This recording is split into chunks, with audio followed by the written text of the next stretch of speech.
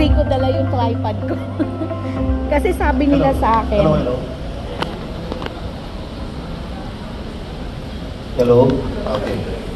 Um, sa ating uh, pinakamamahal na chairman ng uh, CCWI and uh, Batalya Cares, si Dr. Uh, Carlo Magno Batalya, eh, binag binigla mo ako ngayong pare, hindi ko, akala ko magigikain na ako. Pinagsalita ko pala ako dito. And then of course, yung mga organizers po ng uh, ating Music Quest Season 2, uh, fellow crimes and uh, corruption officers and uh, members, uh, other honor guests, ladies and gentlemen, uh, isa pong napakagandang gabi sa inyong lahat. Uh, actually, sabi ko nga, uh, I was uh, surprised. Nakasama pala ako sa magsasalita rito. Anyway, we are all here po to celebrate the second season po ng ating Music Quest and the same time, uh, celebrate po yung uh, Christmas party ng CCWI. Uh, our organization, headed by our Chairman Batalya and his family, are very lucky to have him.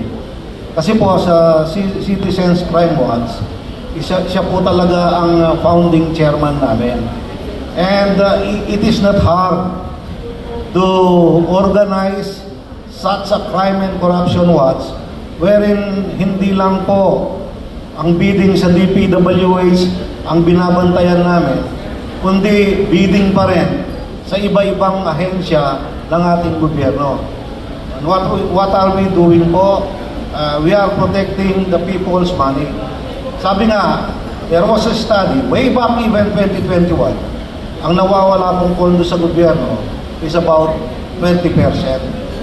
So napakalaking bagay po ng 20% na nawawala sa gobyerno na kung walang magbabantay, kahit man lang sa mga ino-observe namin sa CCWI, eh at least magkakaroon ng uh, hindi man totally eradicate, kundi minimize yung mga nawawalang pondo sa ating gobyerno.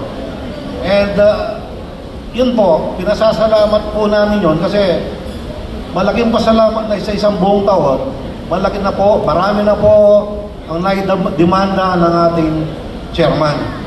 So hindi lang si CWI ang uh, kanyang nabigay, kundi yung pamimigay nga ng mga wheelchairs, almost 70,000 nationwide.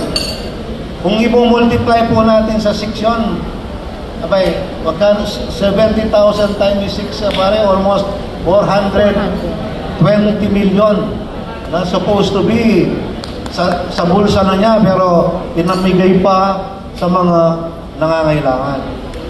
Uh, palakpakan po natin ang ating uh, And then of course, yung hindi lang po pang crime and corruption eh, hindi lang po pang wheelchair si chairman, kundi mga pa-music pa. So siya po ang uh, uh, pinaka-utak behind the music quest.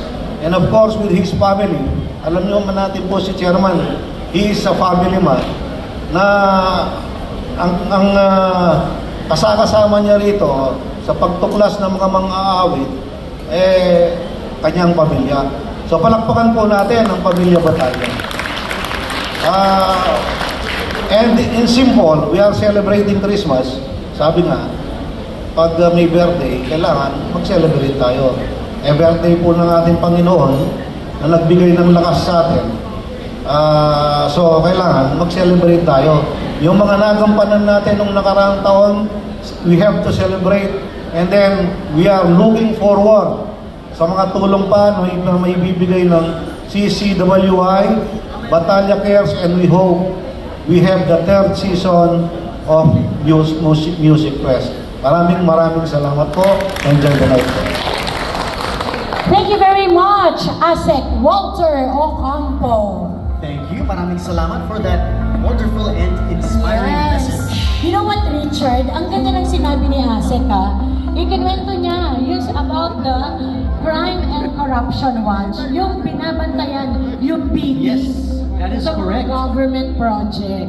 Marami po tayo dito, mga kabataan.